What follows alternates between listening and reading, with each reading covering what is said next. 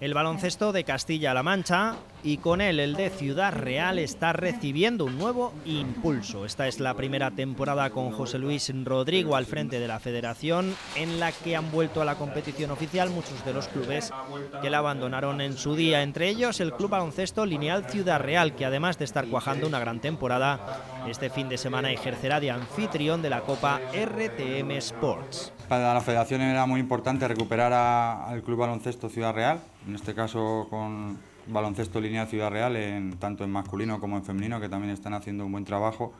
Y para nosotros como federación y para mí como presidente pues es un orgullo eh, estar eh, este fin de semana en, en, Ciudad Real. Con un proyecto en el que los objetivos pasaban más por la consolidación que por los resultados, el Ciudad Real masculino con Gesualdo en el banquillo se ha mostrado intratable en la primera fase de la liga, consiguiendo acceder invicto a la segunda.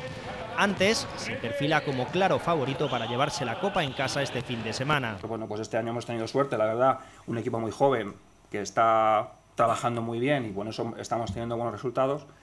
Y bueno, pero el, consolidarlo tiene que ser eso, a nivel, a, nivel a nivel social, que estamos ya con más de 200 socios, que eso es muy importante para un primer año.